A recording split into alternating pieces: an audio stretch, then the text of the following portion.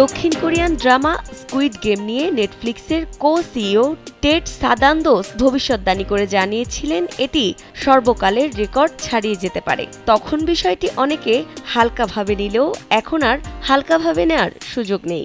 এই মুহূর্তে নেটফ্লিক্সের সবচেয়ে আলোচিত শোগুলোর একটি স্কুইড গেম। কিন্তু ড্রামা নিয়ে যে আলোড়ন সৃষ্টি হয়েছে, তার নেপথ্যে আসলে কি আছে? দুই হাজার সালের একটি জাপানি সিনেমা ব্যাটল রয়্যাল থেকে অনুপ্রাণিত এই সিরিজটি। টিকে থাকার লড়াইয়ের গল্প। একটি খেলা খেলতে হয় যা আপাত দৃষ্টিতে শিশুদের খেলার মতো হলেও বাস্তবে তা নয়। কুইড গেমে জিতলে বেঁচে থাকা যায়, না হলে মৃত্যু।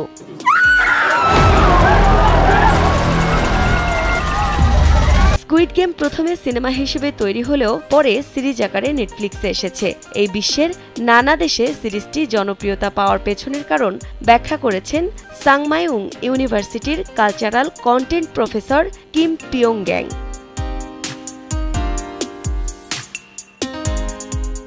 তার মতে মানুষ, বিশেষ করে তরুণরা, বাস্তব জীবনে বিচ্ছিন্নতা ও বিরক্তিতে ভোগেন নিয়মিত। তারা চরিত্রগুলোর সাথে নিজেদের মেলাতে পেরেছেন।